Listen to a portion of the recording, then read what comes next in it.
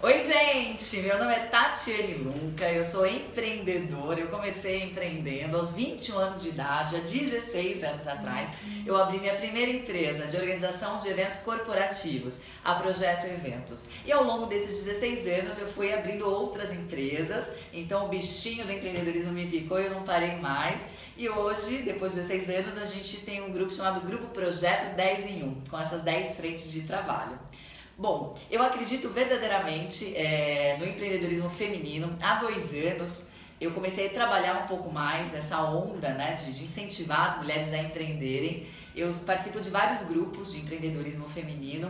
Eu tenho um canal no YouTube chamado Dicas Inspiradoras, onde a gente conversa com algumas empreendedoras, onde elas passam três dicas né, da carreira delas, realmente o que faz sentido, como, que, como é esse desafio de empreender. Escrevo numa revista, escrevo na Viva SA de Alphaville, onde a gente fala também um pouquinho mais dos desafios. Eu conto bastante coisas sobre como a média, como é importante você estar com pessoas que pensam tão bem, pensam tão positivamente, que empreendam como você. Eu costumo dizer também que empreendedorismo, eu falo bastante sobre o intraempreendedorismo, que na verdade, para você ser empreendedora, você não precisa ter a tua empresa, você não precisa abrir uma empresa, você tem que ter a cultura empreendedora, você precisa pensar além da caixa, você precisa pensar do dono, então você precisa ter essa cultura dentro da empresa que você trabalha, porque isso é uma ação, empreender é uma ação, é uma paixão, é um motivo, e você sendo intraempreendedor, dependente da tua sua função, vai fazer com que você tenha muito sucesso no seu trabalho.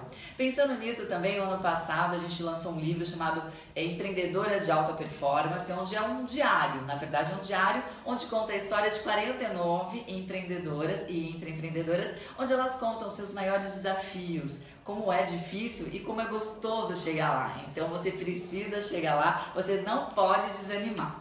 E quando a gente fala assim, Tati, quem é a tua inspiração no empreendedorismo? É a Luísa Helena Trajano, é uma pessoa que eu tenho como a minha mentora. E hoje, quando eu preciso fazer alguma coisa difícil, tomar alguma decisão, então eu penso, o que, que a Luísa Helena faria? E aí sim eu tomo a decisão. Dentro de todas as coisas que eu já li, de todas as coisas que ela me falou e de tudo que ela fala, que ela motiva aqui no meu coração, ela é a maior empreendedora do país nesse momento.